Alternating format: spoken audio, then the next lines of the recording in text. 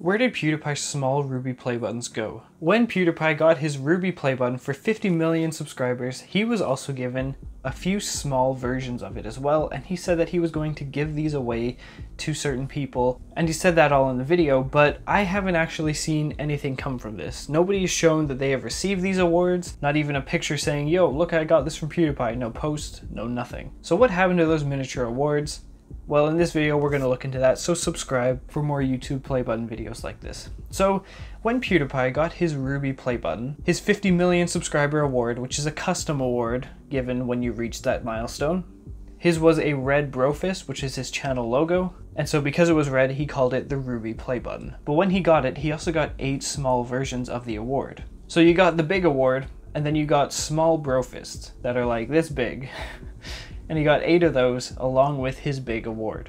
And in that video, he said that he was going to give seven of those small brofists out to some of his earliest fans because in YouTube Studio, you can see who has been subscribed to you the longest. So his plan was to give it to the first few subscribers that he had, the first seven.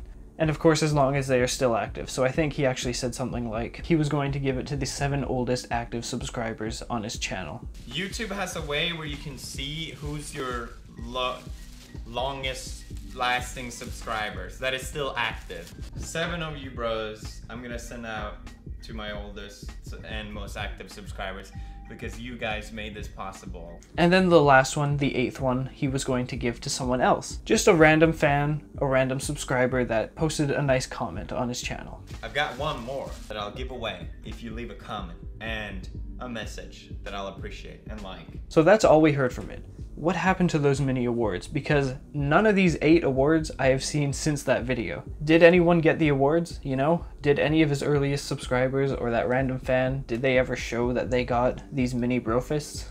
Where did they end up? Well, I did some looking around on the internet and I found the answer and it's actually not as good as you would think.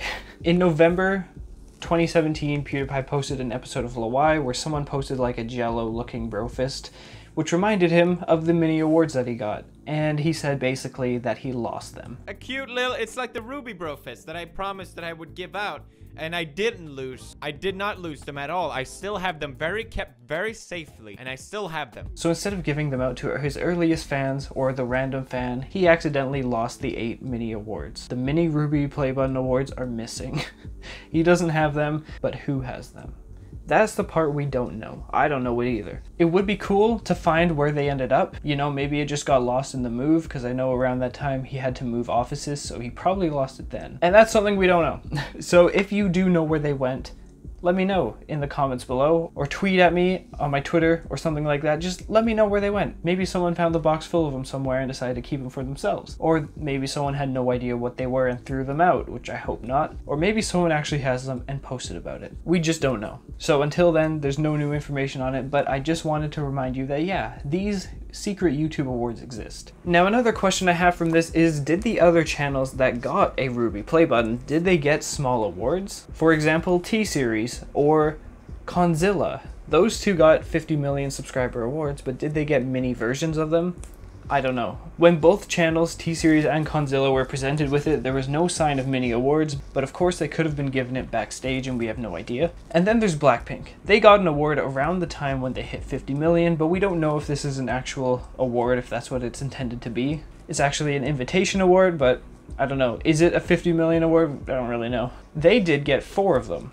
They got four of these awards, one for each person. So that's sort of similar to the eight that PewDiePie got, but he doesn't have eight people on his team, so where did, I don't know, it's weird.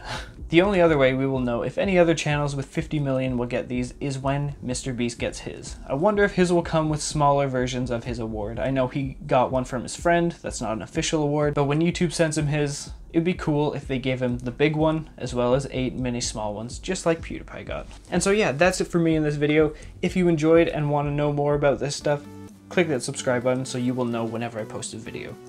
And yeah, that's it for me. Thank you for watching. Fly on.